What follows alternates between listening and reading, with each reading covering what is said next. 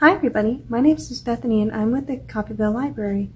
Today we are going to be reading Chapter 10 of The Wonderful Wizard of Oz for our Children's Book Club.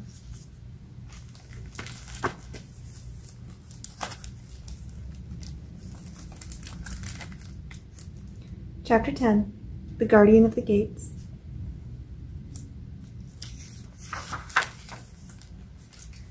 It was some time before the Cowardly Lion awakened for he had lain among the poppies a long while, breathing in their deadly fragrance. But when he did open his eyes and roll off the truck, he was very glad to find himself still alive.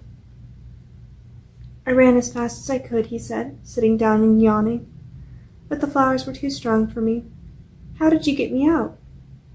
Then they told him of the field mice, and how they had generously saved him from death, and the cowardly lion laughed and said, I have always thought myself very big and terrible, Yet such small things as flowers came near to killing me, and such small animals as mice have saved my life. How strange it all is! But, comrades, what shall we do now? We must journey on until we find the road of yellow brick again, said Dorothy, and then we can keep on to the Emerald City. So the lion being fully refreshed and feeling quite himself again, they all started upon the journey, greatly enjoying the walk through the soft, fresh grass and it was not long before they reached the road of yellow brick and turned again toward the Emerald City where the great Oz dwelt. The road was smooth and well paved now, and the country about was beautiful, so that the travelers rejoiced in leaving the forest far behind, and with it the many dangers they had met in its gloomy shades. Once more they could see fences built beside the road, but these were painted green, and when they came to a small house in which a farmer evidently lived, that also was painted green.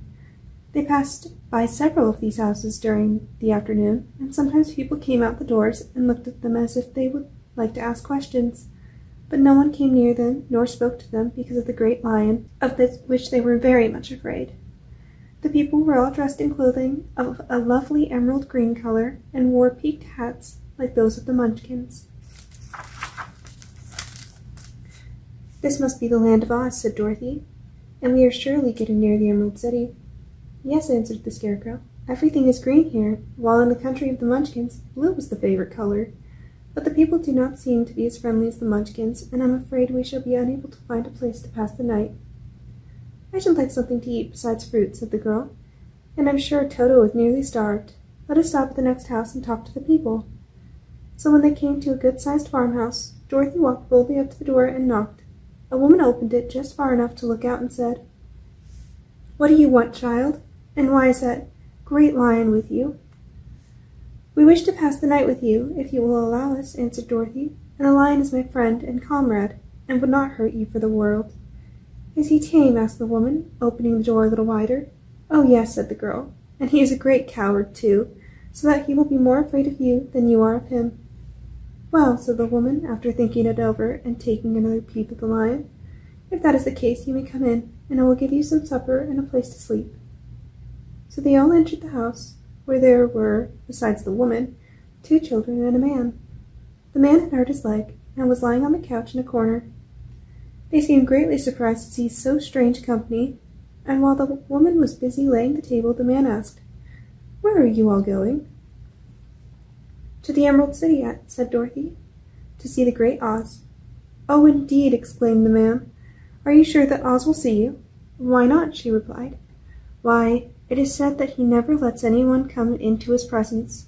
I have been to the Emerald City many times, and it is a beautiful and wonderful place, but I have never been permitted to see the great Oz, nor do I know any of the living person who has seen him. Does he never go out? asked the Scarecrow. Never, he sits day after day in the great throne room of his palace, and even those who wait upon him do not see him face to face. What is he like? asked the girl. That is hard to tell, said the man thoughtfully. You see, Oz is a great wizard, and can take on any form he wishes, so that some say he looks like a bird, and some say he looks like an elephant, and some say he looks like a cat. To others, he appears as a beautiful fairy, or a brownie, or in any other form that pleases him. But who the real Oz is, when he is in his own form, no living person can tell. That is very strange, said Dorothy, but we must try in some way to see him, or we shall have made our journey for nothing. Why do you wish to see the terrible Oz? asked the man. I want him to give me some brains, said the Scarecrow eagerly. Oh, Oz could do that easily enough, declared the man. He has more brains than he needs. And I want him to give me a heart, said the Tin Woodman. That will not trouble him, continued the man, for Oz has a large collection of hearts of all sizes and shapes. And I want him to give me courage, said the Cowardly Lion. Oz keeps a great pot of courage in his throne room, said the man, which he has covered with a golden plate to keep it from running over. He will be glad to give you some.